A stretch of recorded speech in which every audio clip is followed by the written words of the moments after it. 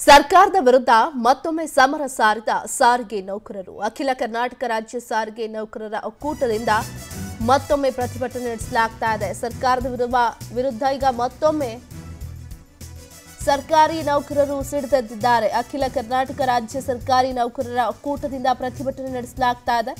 ಸಾವಿರಾರು ಸರ್ಕಾರಿ ನೌಕರರಿಂದ ಇವತ್ತು ವಿಧಾನಸೌಧ ಚಲೋ ಇದೆ. ವಿವಿಧ ಬೇಡಿಕೆಗಳಿಗೆ ಆಗ್ರಹಿಸಿ ಪ್ರತಿಭಟನೆಗೆ ನೌಕರರು ಮುಂದಾಗಿದ್ದಾರೆ. ಹತ್ತು ಮೂವತ್ತಕ್ಕೆ ಫ್ರೀಡಂ ಪಾರ್ಕ್ನಿಂದ ವಿಧಾನಸೌಧಕ್ಕೆ ರ್ಯಾಲಿ ಹೋಗುತ್ತೆ.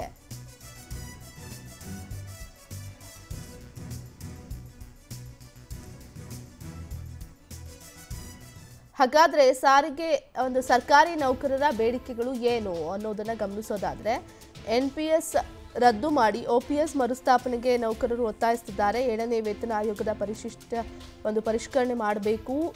ಎರಡು ಪಾಯಿಂಟ್ ಎಂಬತ್ತು ಲಕ್ಷ ಫ್ರೀಡಮ್ ಆಪ್ ಅಲ್ಲಿ ಕಲ್ತು ಹಣ್ಣು ಬೆಳೀತಿದ್ದೀರಾ? ಹಾಗಾದ್ರೆ ನಿಮ್ಮ ಹಣ್ಣುಗಳನ್ನ ಒಂದು ಕೋಟಿಗೂ ಹೆಚ್ಚು ಫ್ರೀಡಮ್ ಆಪ್ ಬಳಕೆದಾರರಿಗೆ ಯಾವುದೇ ಖರ್ಚಿಲ್ಲದೆ ಮಾರಾಟ ಮಾಡಿ. ಖಾಲಿ ಇರುವ ಹುದ್ದೆಗಳನ್ನು ಭರ್ತಿ ಮಾಡಬೇಕು. ಹೊರಗುತ್ತಿಗೆ ನೌಕರರಿಗೆ ಸಮಾನ ವೇತನ ನೀಡಬೇಕು. ಹದಿನೆಂಟು ತಿಂಗಳ ತುಟ್ಟಿ ಭತ್ಯೆಯನ್ನು ಬಿಡುಗಡೆ ಮಾಡಬೇಕು. ತಕ್ಷಣವೇ ಶೇಕಡ ಇಪ್ಪತ್ತೈದರಷ್ಟು ಮಧ್ಯಂತರ ಪರಿಹಾರ ಘೋಷಿಸಬೇಕು. ವೇತನ ತಾರತಮ್ಯ ನಿರ್ಧ, ಒಂದು ನಿವಾರಿಸಬೇಕು ನಾವು.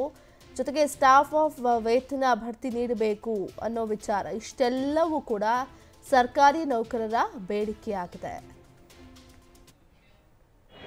ಕನ್ನಡ ಕಾಮನಾಡು ಮೇಡಮ್ ಅವರು ಹಾಗೂ ವಿವಿಧ ಸಂಘಟನೆ ನಮ್ಮ ಕೆ ಬಿ ಇಂಜಿನಿಯರ್ ಅಸೋಸಿಯೇಷನ್ ಅಧ್ಯಕ್ಷರ ಪದಾಧಿಕಾರಿಯಾಗಿರ್ತಕ್ಕಂಥ ರವಿ ಅಸ್ತುಟಿ ಸರ್ ಅವರು ಹಾಗೆ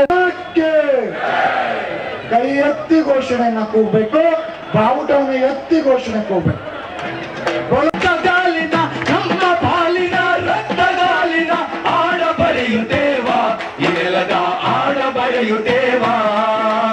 ಆಡ ಬರೆಯುತ್ತೇವ ಆಡ ಬರೆಯುತ್ತೇವ.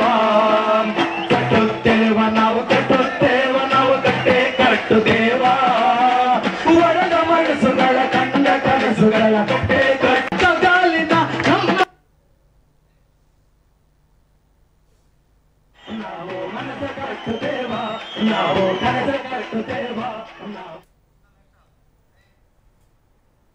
ಫ್ರೀಡಮ್ ಆಪ್ ಅಲ್ಲಿ ಕಲ್ತು ಹಣ್ಣು ಬೆಳಿತಿದ್ದೀರಾ? ಹಾಗಾದ್ರೆ ನಿಮ್ಮ ಹಣ್ಣುಗಳನ್ನ ಒಂದು ಕೋಟಿಗೂ ಹೆಚ್ಚು ಫ್ರೀಡಮ್ ಆಪ್ ಬಳಕೆದಾರರಿಗೆ ಯಾವುದೇ ಖರ್ಚಿಲ್ಲದೆ ಮಾರಾಟ ಮಾಡಿ.